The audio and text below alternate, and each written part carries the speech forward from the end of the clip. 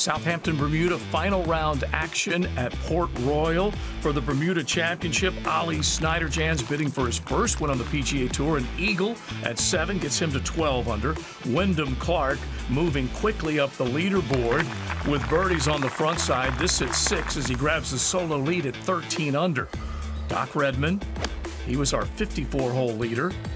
Little bit of a slow start on the front side, just one birdie, but he gets another here at 10, and that gets him to 12 under par. Another player bidding for his first win. Back to Clark at 10 as well. Perfect nine for nine in greens in regulation, and this one all over the pin. So he would make the birdie, getting to 15 under, trying to stretch out the lead. Now at 11, beautiful read.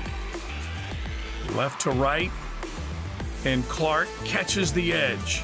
Without a win on the PGA Tour, in his mid 20s, hoping for something big today.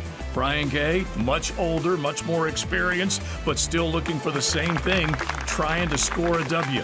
He goes out in 33, birdies at 10 and 12, and suddenly he's right in the conversation. 13 under after the birdie at 12. Now this one at 14. He gets it to 14 under par out of the rough at 15. Dozen greens in regulation. And he's talking to this one. That's why a big fortuitous bounce from the right side. It sets up a birdie, and he would take his score to 15 under par with a short putt from inside of five feet. Kramer Hickok, 10 under par. This at 16. Hickok didn't have his best stuff in the final round, but a Butte at 16, that would lead to birdie. He would get to 11 under. Now, Brian Gay at 18. He bogeyed the par 5 17th, fell out of a tie for the lead, but what does he do? He comes right back with an excellent shot off a tough lie. It sets up a birdie, and he goes back to a share of the lead. That gets him to 15 under. Wyndham Clark in the group just behind hits a big drive and he sets himself up for a winning putt. Oh, it just misses on the right side. So Clark and Gay into a sudden death playoff. This week. And in the playoff, we're going to play eight.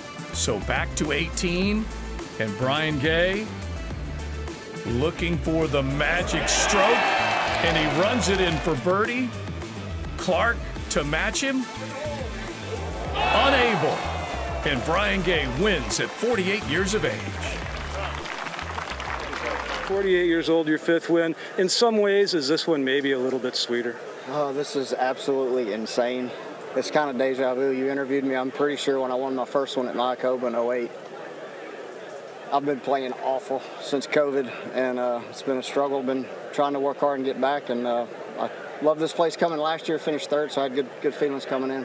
What do you prove to yourself when you perform like this against guys who are younger and hit it a lot farther? Yeah, I mean, you look, I always know I've got the game to compete out here. You know, you certainly it's easy to doubt yourself. The players are so good and, and so so young, like you said. A lot of them are my daughter's age, so it's pretty uh, pretty unbelievable. Congratulations, man. Well Thank done. Thank you very much. You bet.